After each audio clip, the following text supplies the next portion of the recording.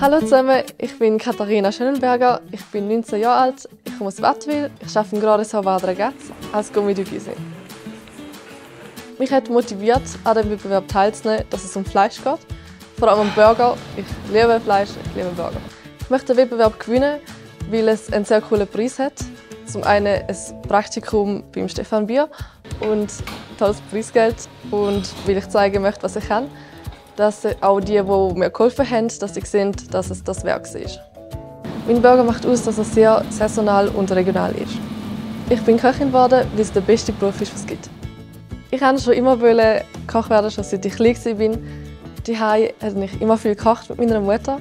Wir haben einen grossen Garten und so bin ich komplett mit aufgewachsen.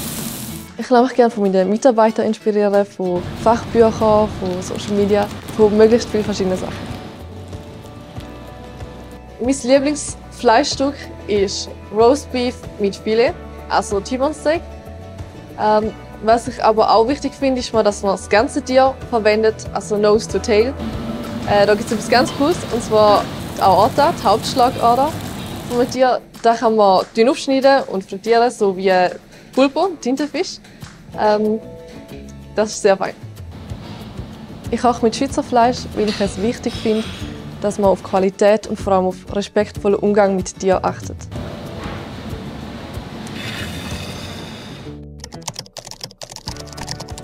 T-Bone Steak.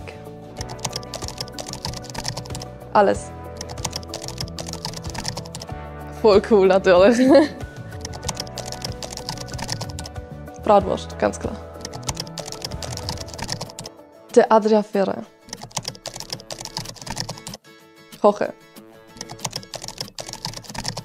Messer.